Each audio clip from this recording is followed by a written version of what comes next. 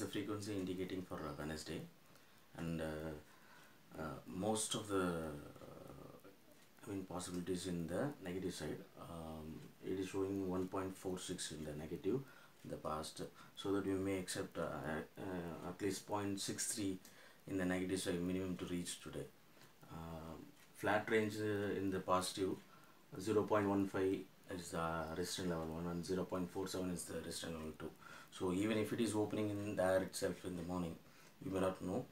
But most likely to open in the negative but still uh, our indian market is a little bit bullish at, at present time. So it may open in the positive. If it is open in the positive it will come down to the negative side. And um, uh, last time uh, we expected so many negatives but uh, those days it doesn't happen. But today we may expect uh, somewhere around uh, 0.63 to 0.87 if it is break that level it will go to 1 1.46 1.46 is likely to happen uh, today